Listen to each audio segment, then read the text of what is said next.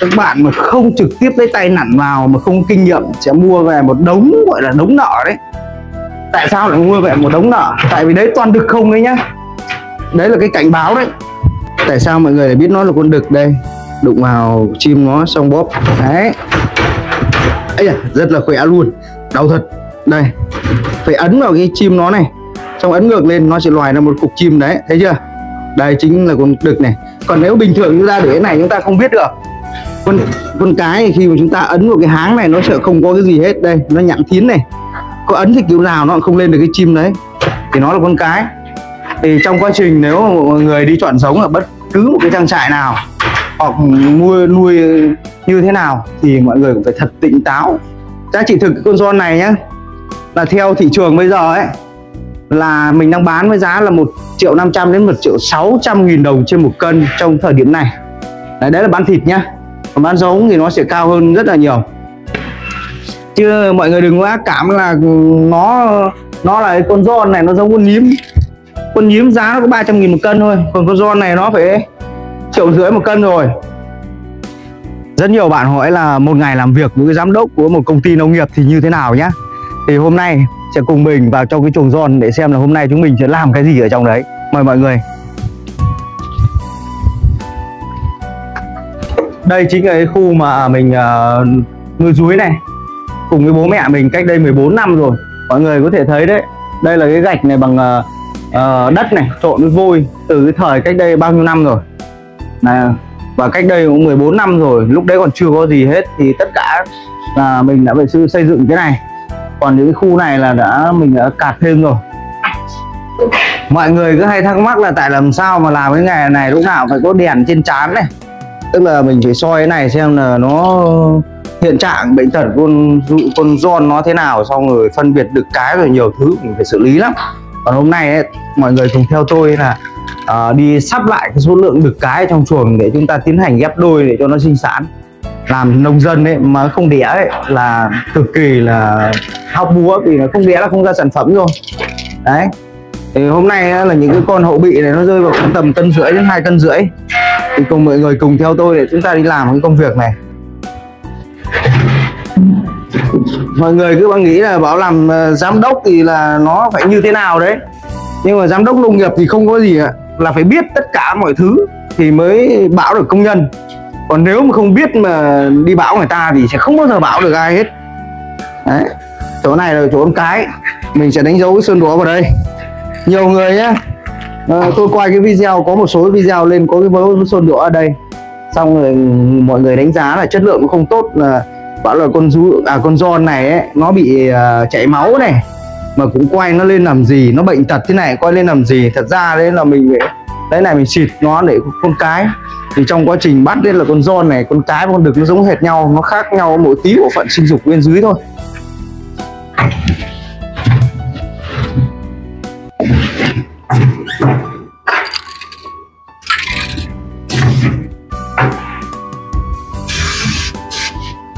Đấy.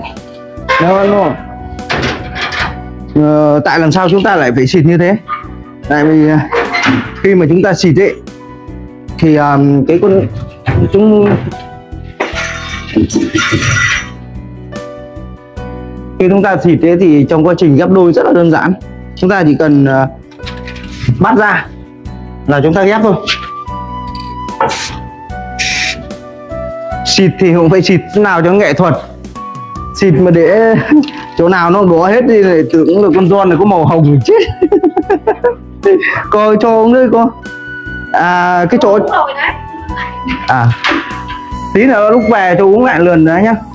Không là cái lúc về đấy trong ờ, trong cái lúc mà ví dụ như thế là ờ, cô cho lúc chiều đúng không? Là cái bát nước nó hết thế này. Ừ, mà đêm đêm nó hết nước rồi là nó bị khát nước đấy vâng hôm nay cháu sẽ dành hết thời gian ra để cho ghép hết cái, cái đàn này.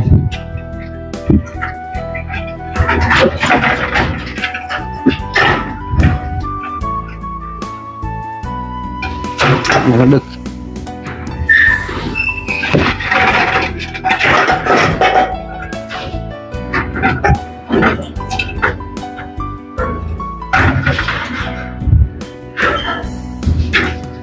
có một cái rất là hay này nhá, đây mọi người này. Đấy.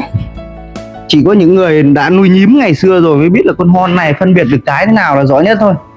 Mà mọi người cứ hay có một cái cái à, luôn nhầm tiệm luôn nhầm nhầm tưởng cái con à, con giòn này. Mọi người luôn nhầm tiếng con giòn này là con nhím. Và mọi người cứ nhìn thấy nó là có cái ác cảm là nghĩ là con giòn này giá trị nó không cao, nó còn hai ba trăm nghìn nó con nhím thôi và tại làm sao nó lại bán được cái giá cao như thế? Tại nó là cái hàng thịt, nó phải có chất lượng, phải có ngon. Nó phải như thế nào, người ẩm thực người ta mới chấp nhận mua cái giá đấy người ta ăn.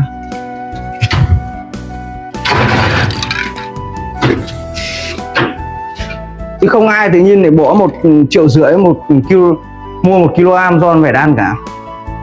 Ăn như thế cũng mà phá sản này nhưng mà thật ra là giới người giàu rất là nhiều. Chúng ta làm nông dân thì đôi khi chúng ta không hiểu được cái tầm họ ăn uống như thế nào đâu. Chúng ta cũng chỉ biết một phần nào đấy thôi.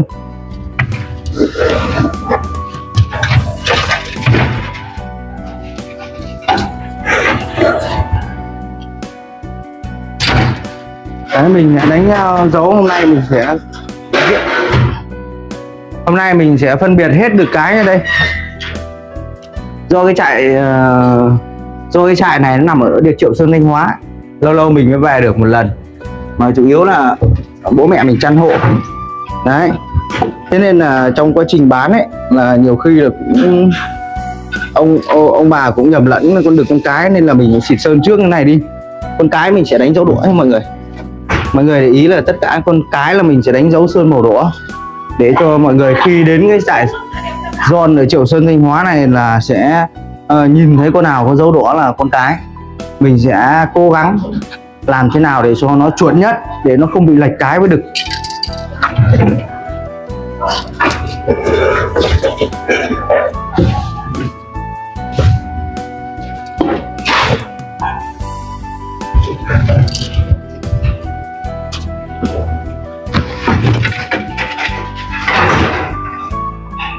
Con này con được đấy mọi người này. Đây.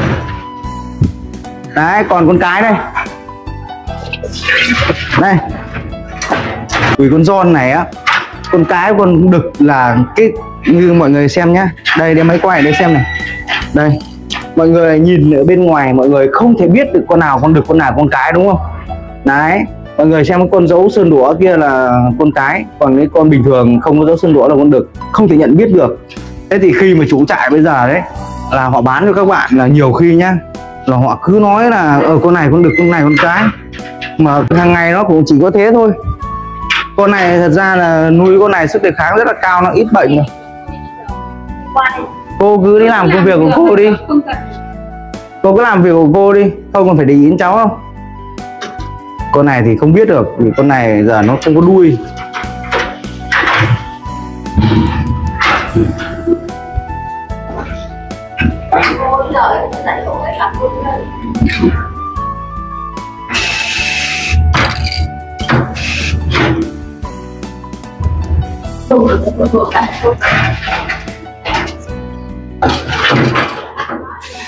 Mọi người ạ à, nhiều khi nhá là mình sẽ nhốt hai con cái trong một chuồng. Tại sao mà mọi người đến bảo tại sao nhốt hai con cái một chuồng? Vì thật ra hai con cái này á nó đang cùng một cái trọng lượng. Nó chưa cần thiết phải đi gắp giống thì mình cứ cho nó vào đây. Về nó đang còn non nó chưa lên giống thì mình cứ cho vào đây đi bao giờ nó lớn khoảng tầm 3 cân, ba cân rưỡi, đem đi ghép mà chả sao cả. Chứ đâu phải cứ bé cứ bé tí là đem đi ghép giống đâu. Nó là đĩa đâu, là nhảy đâu mà ghép. Ghép nó không giải quyết vấn đề gì cả. Đấy. Đây con cái đây.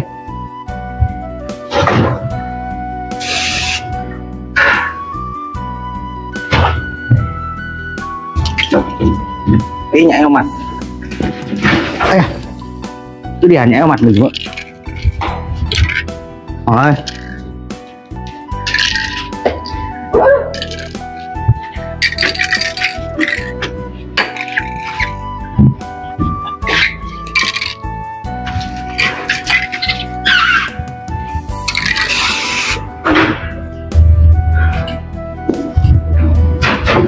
Rất là mệt trong khi ừ, chúng ta làm này những cái lúc mà nó ra ngoài thực sự bắt con giòn nó rất là mệt. Đùi nó, cái đùi nó rất nhạy cảm. Nếu mà giật mạnh quá nó sẽ đứt. Mà con con con con giòn ấy, mà nó đứt đuôi sâu quá rồi thì mẫu mã nó xấu, bán giống nó khó thì chỉ bán thịt thôi. Còn nếu mà chúng ta mà để mà bán giống á, thì cũng được, nó vẫn đĩa đá bình thường nhưng mà nhiều người chê nó xấu. Đấy.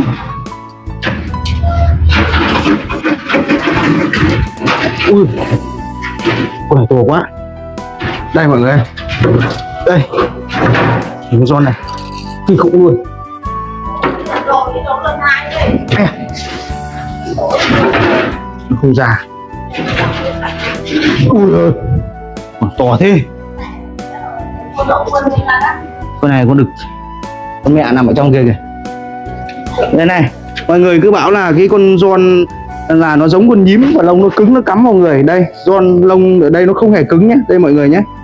Lông nó mềm nhá. Đây, lông nó không hề cứng đâu. Đấy, không hề cứng đâu nhé mọi người. Có mỗi mấy cái lông ở đuôi này nó nhọn này. Chúng ta bắt rồi tránh cái lông đuôi này ra. Đấy, đây nó cắm vào cái tay của chúng ta trong quá trình chúng ta đang cầm này.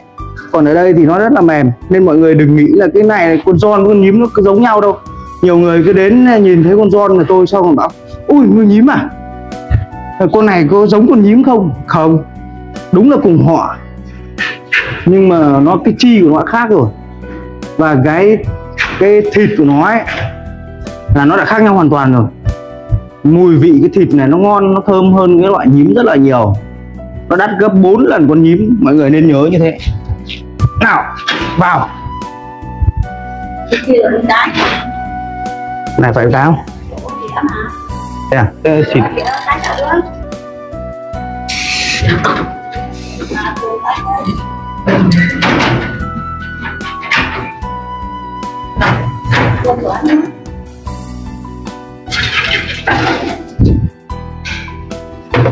đây mọi người có thấy con giòn con nó như thế nào thì xem luôn này. Đây bé tí này. Đấy cái loại này mới hay bị lừa này. Tại sao tôi nói cái loại giòn con này hay bị lừa tại vì đang còn bé. Đấy nó, nó chưa phân biệt được cái khi nặn vào cái chỗ này. Đấy, nặn ở chỗ này là chúng ta con đực con cái gần như giống nhau. Mà nó phải thật từ từ nặn. Đấy nếu mà nó có đây, đây. Sờ xuống bên dưới này. Chọc ngược lên.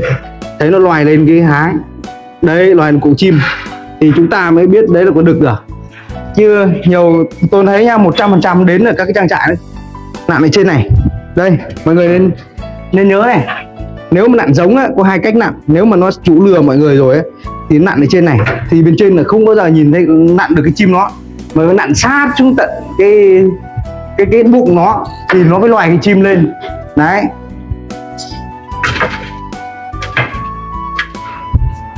Đấy đây, đây đuôi nó quật mình. Đây, đuôi nó quật mình mọi người ạ. à cái tí mà toàn lấy đuôi quật người. Ấy à đây, con này cũng có được nốt. Đây, một đôi được luôn. Đây, đôi được luôn. Đây. Nếu mọi người mà cứ cố tình mà nặng ở trên này là không thấy gì đâu. Ở trên đít này này. nặng sâu xuống, nhá.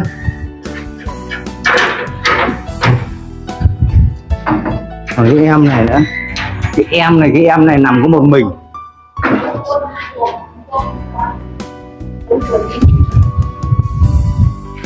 em này em nằm con mình đấy à, cắn cắn quy à?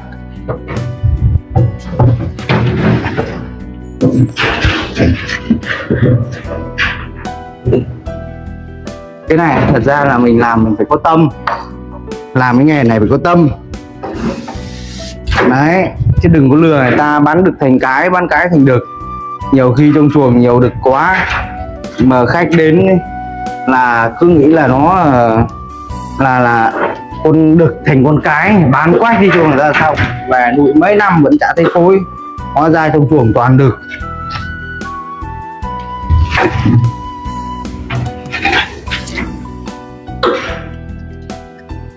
Đây này mọi người, con này đang động đực này. Tại sao biết nó động được không? Đây, nó chảy cái nước, đây, nó chảy cái nước ra xong rồi nó trắng trắng này. Đây, nhìn, mọi người nhìn thấy cái cái cái lông này có màu trắng không? Đây chính là cái nước nhầy, nước nhớt của nó là lứa đầu đấy. Đây con cái như đây. Cả vào không có gì cả này. Đấy, thì nó đang động được. Nhưng mà con này mới được khoảng tầm hai cân rưỡi năm động được lứa đầu thôi. Thật ra phối nó chưa đậu đâu. Mà một số con vẫn đậu như bình thường. Những con đấy đĩa này, đĩa non, gọi là bố mẹ non đấy mọi người. Còn nếu bố mẹ chuẩn, nó phải ba cân rưỡi, bốn cân.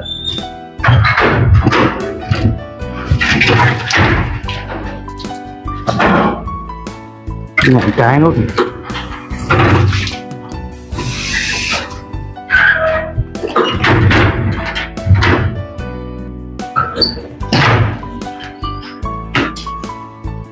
đây, nhà mình cấy rất nhiều rau muống nhé nào rảnh mình sẽ mang các bạn đi thăm cái vườn rau muống của mình. Cái này, cho do nó ăn rất là tốt. Đấy, nó nhanh liền vết thương lắm. Ví dụ con nào mà cắn nhau cho ăn đến đêm lôi lên một cục thì là nhanh liền. Giống như người mình đứt tay mà ăn rau muống ấy, xong lôi lên một cái sẹo rất to.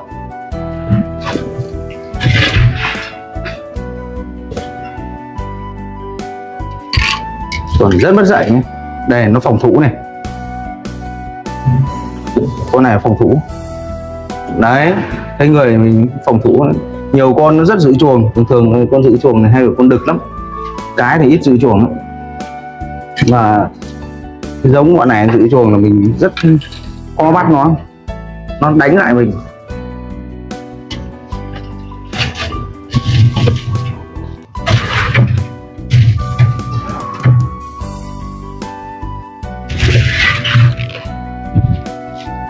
Đấy biết ngay con đực mà.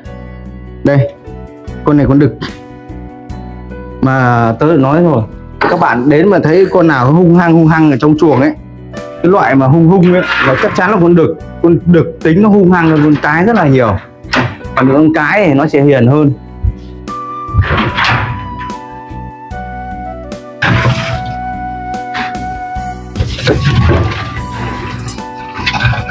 Chà. em này em được rồi.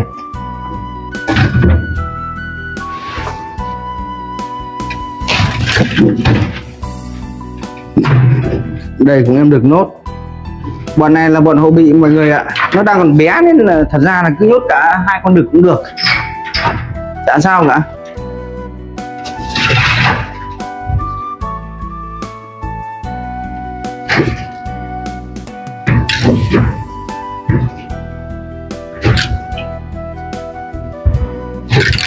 ok. Đây con mẹ đấy. Con này là chuẩn bị sinh sản đấy mọi người ạ. Con này lấy con đực ghép vào là ok đấy.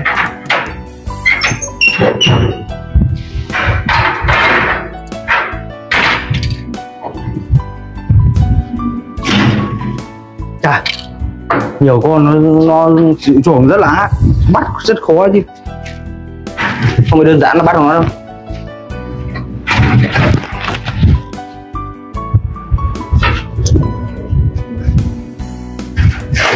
Ơi ơi ơi nằm ngồi lầm.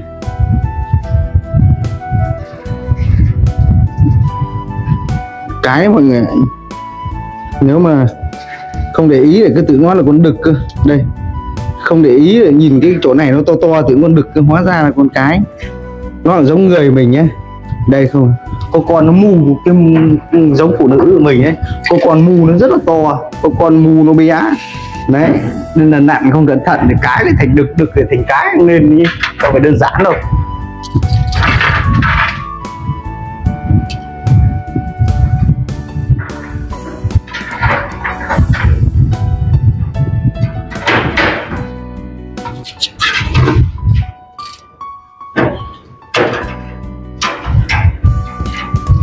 Nào lực những hai thằng này.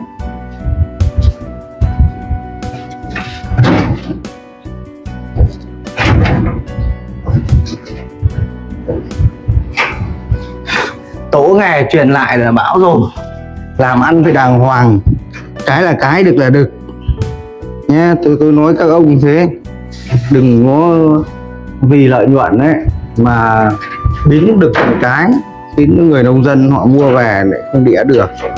Bây giờ ví dụ như ông mua, bán cho họ một đôi, một đực một cái chẳng hạn, không may nuôi không đĩa thì làm sao? Nhưng mà bán cho họ hai con đực, tôi dồn mãi mới được một tí tiền mua một đôi giòn về nuôi. Hóa ra đến lúc nuôi lớn nuôi mãi, hai con đực. Thế thôi, hóa ra họ nuôi không công mà ấm ức không thể nói được. Đến lúc đi đổi các bạn thì bảo, ôi rồi cả năm rồi biết đâu mà đổi nữa đấy, người dân họ cực kỳ ấm ức đấy, đừng đùa đâu, mười mấy, hai mươi triệu một đôi giống. Xong rồi chúng ta biến tấu nó thành những cái sản phẩm gọi là không chất lượng. Nó là con vật thì chúng ta không thể là là là bảo đảm được chính xác chính xác 100% nhưng mà riêng cái vấn đề được cái là các ông phải rõ ràng cho tôi. Bán loại nào là phải bán loại đấy. Đừng có đem đực ra bán cái. Tôi biết rất nhiều cái trang trại hiện nay đang bán đực thành cái đấy nên là các ông làm ăn có tâm một tí.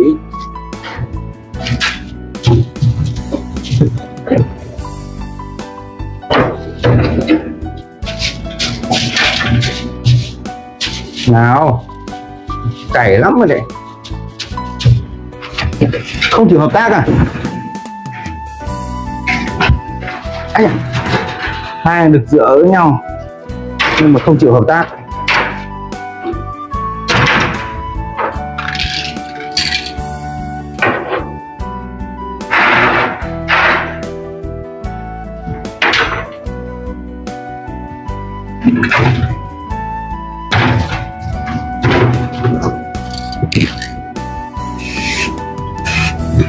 Nhiều khi mọi người bảo là sao mà anh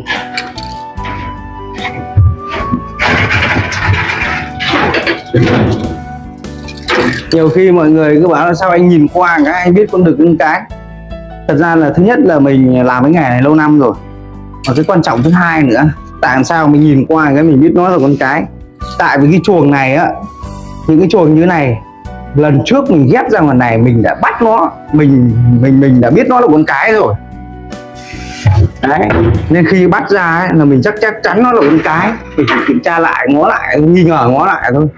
Đấy, chứ đừng có nói là à, chuyên gia rồi nhìn qua phát biết được biết cái không có đâu. Phải sờ phải nặn đàng hoàng. Chứ không thể nói mồm được đâu. Nhiều khi á cái giá nó rất là bé nó chỉ bằng cái que bằng cái thép một ly thôi. Đang như những con bé ấy, nó chỉ bé bằng cái thép một ly thôi. Mà chúng ta mà không cẩn thận là chúng ta nhầm ngay.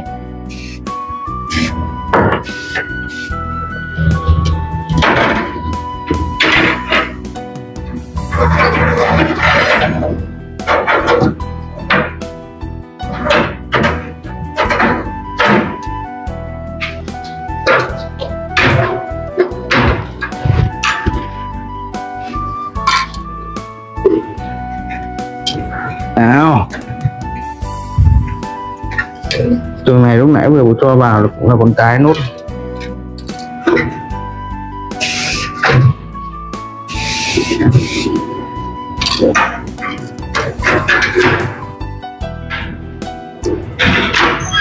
Đây đôi này rất to luôn này đôi này mà khó bắt này này. Đấy. Cái loại những cái đôi to mà nó đã ở với nhau rồi nó rất là bảo vệ nhau nhé chúng ta mà mà mà bắt nó này nó rất, rất là giữ hai con này giữ bảo vệ cho nhau này đấy đánh đánh chán này đánh nó xuống này mới bắt được. Không phải thích thì bắt được không nó đâu. Đấy. Rồi xuống đây rồi tôi mới chộp được. Á nhỉ, ôi ôi. Hai cái thằng bất dậy. Này. chúng mày có để xem tập kiểm tra xem giới tính thế nào không? Chữa ở nhau này hai thằng được dựa à? Hả?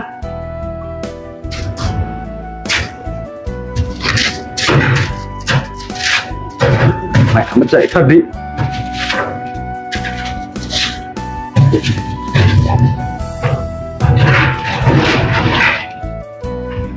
vâng. Để tôi xem anh mang cái giới tính gì nào. Ừ. À, anh là giới tính cái.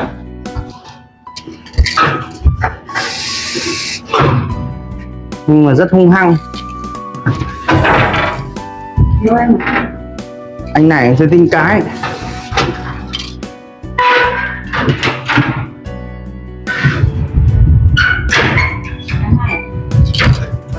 Ơ à, tí cắn mình. Tí cắn mình chứ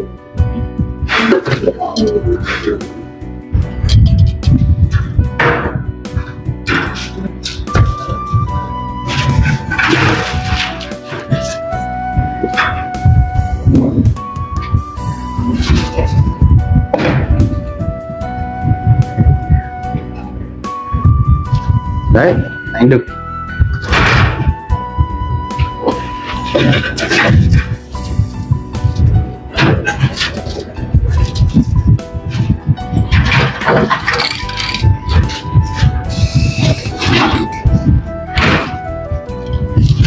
đây là cái chuồng mình nuôi tập trung này mọi người này.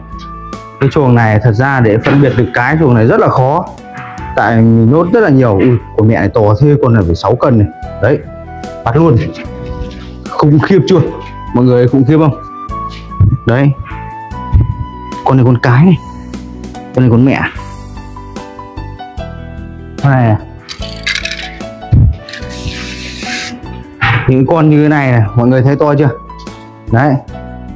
Khủng khiếp. Đây là con giòn giống nhà mình đấy nhiều khi là mọi người phải cẩn thận nhé nó ra nó cắn đấy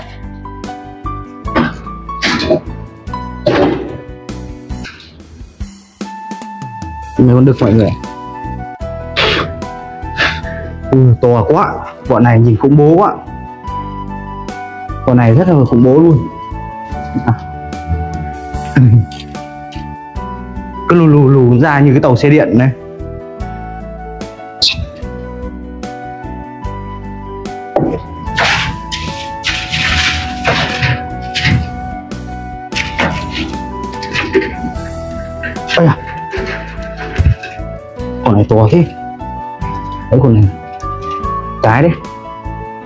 Là cái mọi người ạ. Cái dàn bố mẹ nhà mình đấy Nhìn khủng khiếp chưa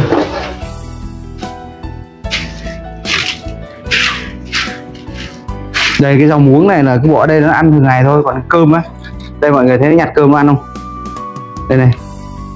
Đấy, cứ nhặt nó ăn thế này thôi. Cho ăn thì, nhưng mà cái chỗ, cái viên gạch cho ăn này nó phải sạch sẽ nhá, thì mới đổ xuống được. Nếu mà cứ để cái kiểu nó không sạch sẽ nhá mà để cái này là không để được đâu nhá, nó nhiễm bệnh chết đấy, nhiễm bệnh tiêu chảy đấy. Ở chuồng này mai mình sẽ xử lý sau. Vì là cái chuồng này chỉ có hai người làm các bạn ạ. Xong rồi thì mới phân biệt được cái mình quá nhiều luôn. Cuối cùng thì là một buổi chiều làm việc của một ông giám đốc thì đã xong rồi mọi người ạ. Thời buổi công nghệ với lại thời buổi kinh tế thị trường khó khăn như thế này, làm nông nghiệp rất vất vả mục đích để mà phát triển tốt hơn thì mình có một cái doanh nghiệp. Nhưng mà mình phải là một người, thứ nhất là phải đam mê về con này. Thứ hai là mình là phải một người tận tụy với công việc thì mới sống ở cái nghề này được. Còn nếu mà chúng ta làm không tận tụy với công nghiệp, về công việc, lắm lúc là có khi là nó chết chết là một chuyện rất bình thường. Mà nếu mà nó chết ý, là mỗi một con này ví dụ con này à, là ba cân đi. Mà giá giống hiện nay đang hơn chục triệu, thì nó cũng phải sáu bảy triệu một con rồi. Mà nếu mà tính ra thịt thì nó cũng phải rơi vào 5 triệu rồi. Giá giống nó đắt hơn một hai triệu đi. Thì nếu tính vào một công ngày thường của một người công nhân ở Việt Nam chúng ta, thì nó đang rơi vào khoảng tầm, nếu người lương thấp thì rơi một tháng lương, còn người lương cao thì nửa tháng lương rồi. Đấy. Chính vì thế nên là ừ, nếu mọi người muốn theo cái nghề này à, thì chúng ta phải thực sự là nuôi nó có tâm là thứ nhất thứ hai chăm chú của nó thứ ba nữa ấy, là chúng ta phải dành chút thời gian để để ý đến những cái sức khỏe của nó. Sáng ra chiều lại chúng ta phải đi qua lại lại lại lại. Xong rồi chúng ta phải ví dụ chúng ta phải gõ gõ xem đấy gõ gõ xem nó đi lại có bình thường hay không nó chạy nhảy có bình thường hay không nó có hiện tượng gì không rồi à, cái phân nó định nghĩa ra ở bên dưới này này. Nó có bị à, nhớt hay là bị tiêu chảy hay không để chúng ta biết đường là chúng ta biết được là cái sức khỏe của cái con giòn chúng ta trong chuồng đang bệnh tật như thế nào. Vâng ờ, nếu bà con muốn quan tâm đến sản phẩm ở đây có thể đến tại thôn 2 xã Vân Sơn huyện Triệu Sơn tỉnh Thanh Hóa. Công ty trách nhiệm hữu hạn nhân giống bảo tồn động vật tỉnh Thanh Hóa. Xin chào mọi người.